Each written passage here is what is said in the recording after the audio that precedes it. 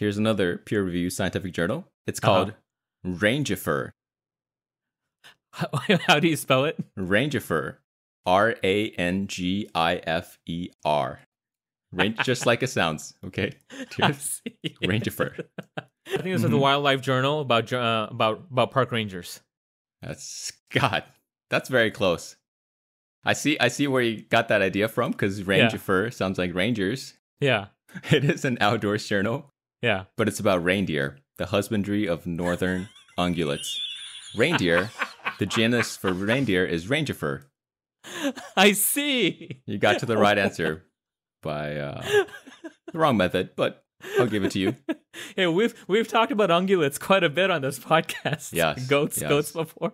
Big fan of ungulates. yeah. yeah. Uh, IF, what do you think? Impact factor? This has got to be less than one, man. Come on. It is. It's uh, yeah. well, it's actually it's not given an impact factor by SCI or Scopus. Uh, yeah. For whatever reason, it is indexed by them, but yeah. Uh, but according to exactly, it's zero point six. Yeah.